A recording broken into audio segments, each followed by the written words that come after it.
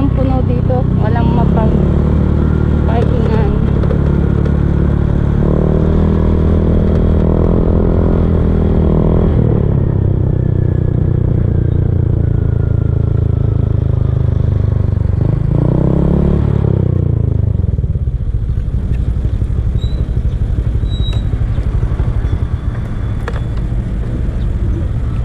Ang hirap ko na namang mag center stand kasi ano nasisira yung nasisira yung ano ng sapatos ko ilalim. Alam mo sira na to kaka center stand ko.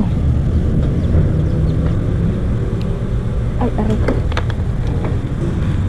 okay dito na tayo sa landers. How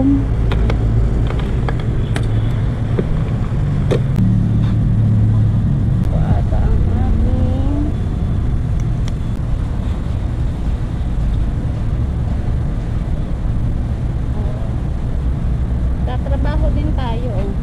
Kala ko yung laptop ko.